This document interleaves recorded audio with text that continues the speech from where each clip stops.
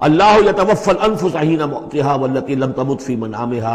इस आयत को फिर नोट कर लीजिए, कादियानियों ने जो भी फसाद जहनों में पैदा किया हुआ है, ये मैं सूर्य आल इमरान से लेकर मुसलसल इसको वादे कर रहा हूँ कि ये तवफ़ी जो है, तवफ़ा, या तवफ़ा, बाब तफाउल, पूरा पूरा ले लेना, कब्ज कर लेना, कब्जे में ले लेना।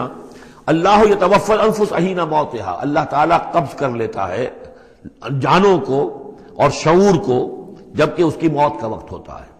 वल्लकी लमतमुत फ़ी मना में जिनके मौत का वक्त नहीं है तो नींद में कब्ज कर लिया। नींद में शऊर चला गया, जान मौजूद है। मौत जब होती है, शऊर भी गया, जान भी गई, जिस्म यहाँ है।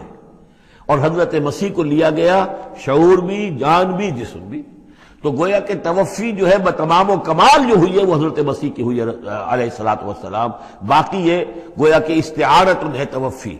नींद में भी हमारा शऊर चला गया, और असल शह तो शऊर ही है इंसान की। अगर फिर अगर शऊर ही नहीं है तो फिर क्या है उसके अंदर? वो अल्लाह ने उस वक्त उससे ले लिया है, छीन लिया है। अल्लाह ताला ने सल्ब कर लिया कब्ज कर लिया है। तो गोया कि ये लफ्ज जो इतलाक हो रहा है, इसका नींद पर भी हो रहा है। फयूम से कुल नती कदा अलहल मौत। तो जिसकी मौत का अल्लाह फैसला कर चुका है, उसको अपने पास रोके रखता है। वयूर उखरा मुसम्मा।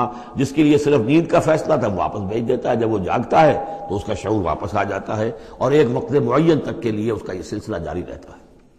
इन नफीज़ाल कल आयातिल कौमी तफक्रून यकीन इसमें निशानियाँ हैं उन लोगों के लिए जो गौर व फ़िक्र से काम